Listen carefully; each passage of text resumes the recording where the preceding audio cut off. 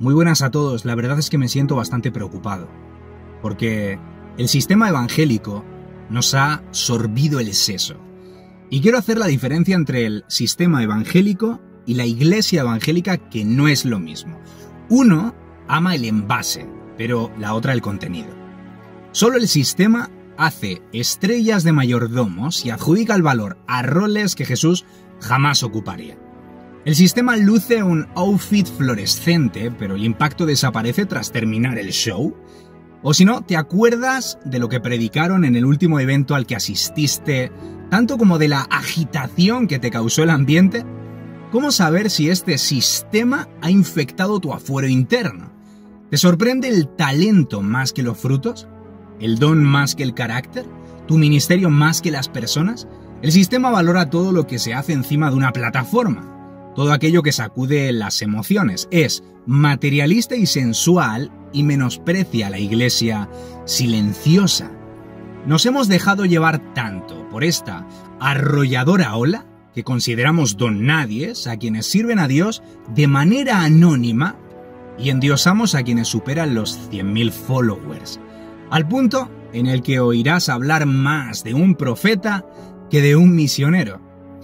A veces me pregunto cómo se sentirá Jesús al ver cómo sustraemos el 50% de los aplausos en nombre de nuestro ministerio.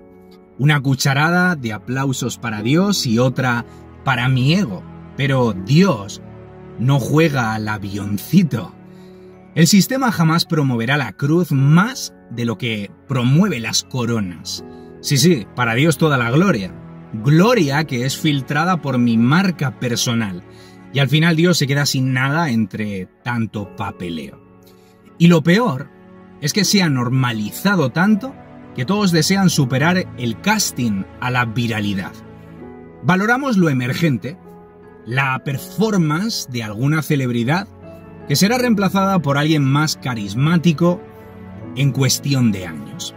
Y enterramos los pilares de la iglesia local que son los que verdaderamente perduran. La enseñanza, la consejería, las misiones, el discipulado, la obra social y las cientos de labores escondidas que no recibirán una remuneración flamante, no al menos de los hombres, ni en este siglo.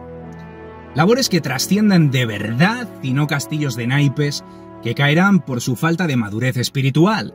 Todos ansían ser la sensación del momento hay un colapso de TikTokers sedientos por amasar audiencia, cuando existe la probabilidad de que nuestro radio de conocidos nunca hayan escuchado el Evangelio.